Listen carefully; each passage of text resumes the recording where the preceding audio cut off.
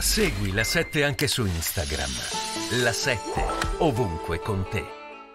si evitano di evitare reati. Va bene, e allora si lascia la responsabilità. la- allora, diciamo una cosa. di gestire degnamente una cosa. Va bene, allora diciamo fare, una cosa, che la, la- la sentenza quasi unanime, a questo, forse unanime a questo tavolo, è che questo decreto è sbagliato, va bene? E comunque Eh, rifatto, ormai- come sarebbe minimo meglio rifatto. neanche dicendo sia Adesso meglio, cari ragazzi, per se non vi 60 drogate in quella giorni. maniera. Speriamo che in di scusate, speriamo che in questi con una roba e non con l'altra. Speriamo, basta, vergogna, fammi parlare.